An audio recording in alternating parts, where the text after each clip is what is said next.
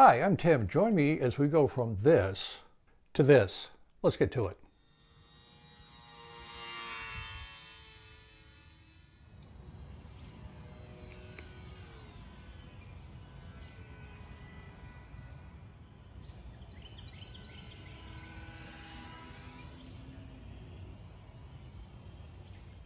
This is an original design that I did about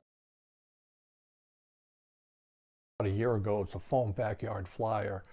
And I did another video on this previously. I'll put a card up for this. The plane uh, flies really nice. It uses the ParkZone brick, which is a combination of electronic speed control, two linear servos, in this case for rudder and elevator, and a built-in electronic speed control. Um, I got mine from Stevens Aero. Information is in the description. I'll put another card at the top of this video about where you can uh, buy this as other sources uh, Amazon, Google, if you look for the ParkZone uh, Ultra Micro uh, brick. But it's a very handy thing to have because you have the micro motor with the geared uh, propeller. It plugs right into the brick and then just straight control runs to the rudder and elevator. This flies very well. The total weight of the airplane is 1.5 ounces and the uh, single cell uh, LiPo battery is 0.2 ounces for a total weight of 1.7 ounces. So I've gotten a lot of feedback on this. People like it. You really, it flies on the wing. You can see in the video that um, it flies well in a parking lot. Let's take a quick, quick look to see how it flies in a nearby parking lot. The uncovered original model at a total flight weight of 1.7 ounces really flies pretty well. It's light, responsive. It'll dip a little bit because I'm trying to fly slow to um, help with the camera shots. But it's very pleasant airplane to fly, plenty of power, and handles well.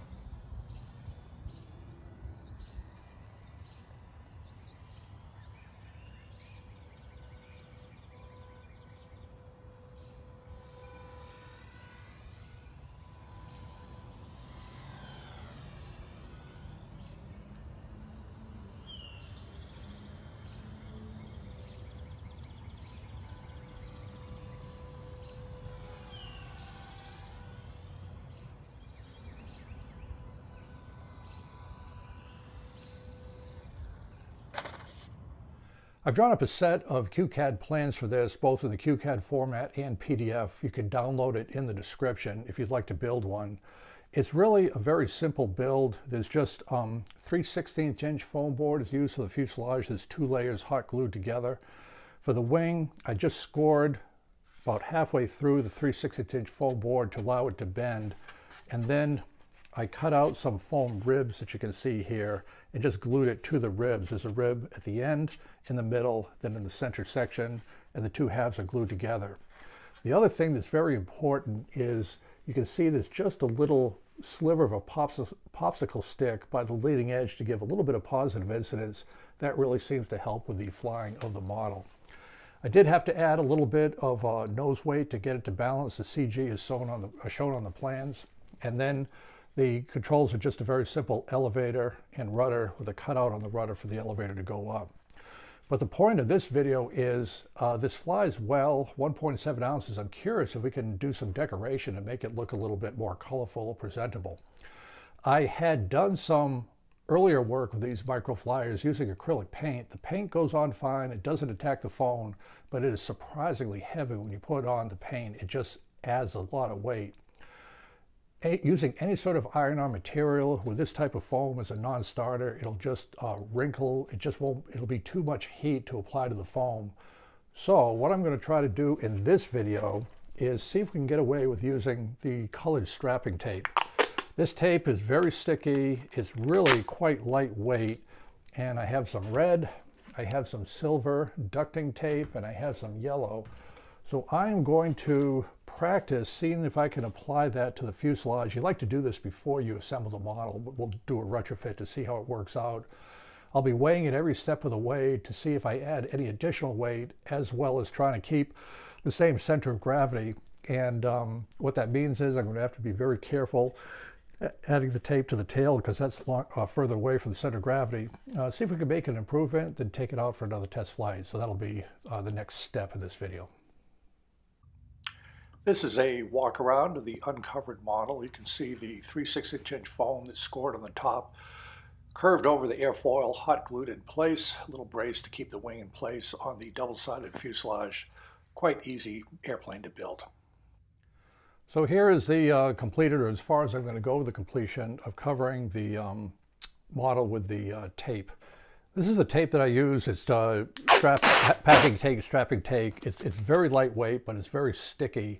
What I tend to do, because it'll stick on itself very easily, just double it over. I literally put it in my mouth.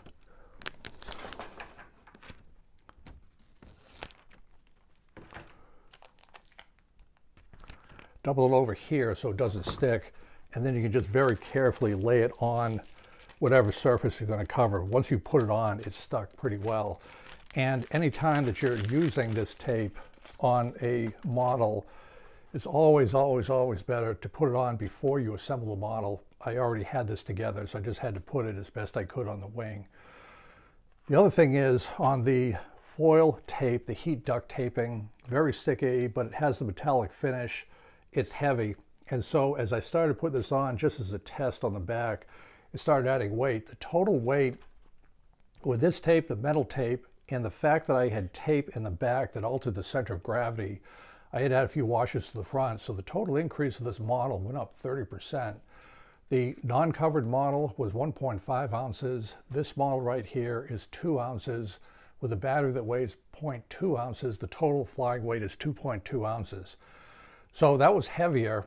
Um, we'll see if this flies. I know that these motors are good up to two and a half ounces, three ounces, depending on how much wing area you have. But that's where we are with this test right here. And we'll, the, the weather's good, we'll go out and take it for a test flight. One thing that's important with these uh, ParkZone equipment is you've got to turn the transmitter on first. Make sure you have the right model selected.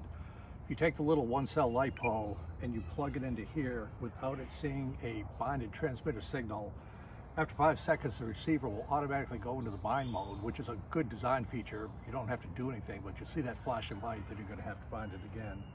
So we have the plane selected uh, here. Make sure the throttle is down low and we'll plug in the battery. Making sure of the polarity, there's a little red dot that should be down below when you plug it in.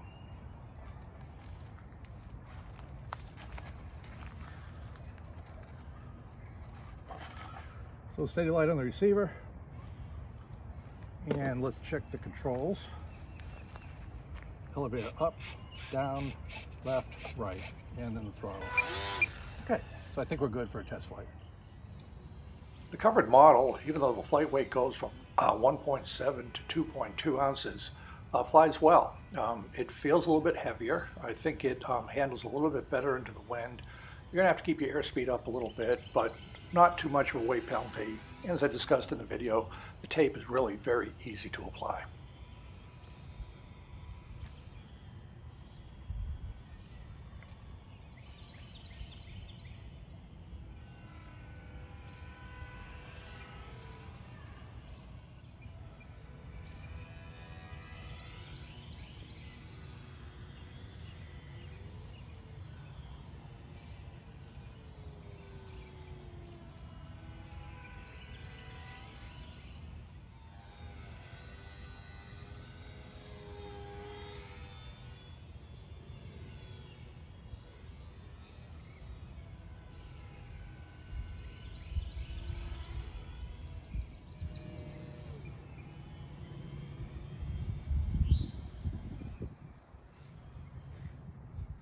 Well, we're back from our test flight, uh, the, a, a, parking lot just uh, very near where we live, and the model flew well. Um, you can you can see in the video, um, it handled well. It could feel a little bit heavier. Um, there was a little bit of bounce of the model. There were a few gusts that were happening uh, in the evening, but sometimes heavier models penetrate a little bit better in the wind. The model certainly had the power.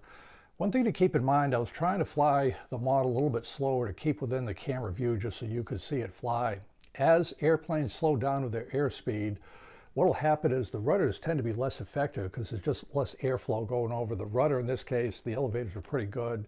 So what I think I'll do when I update the plans is I'll make the rudder just a little bit bigger. I'll make the elevator a little bit bigger just so you have the added control throw as you need it.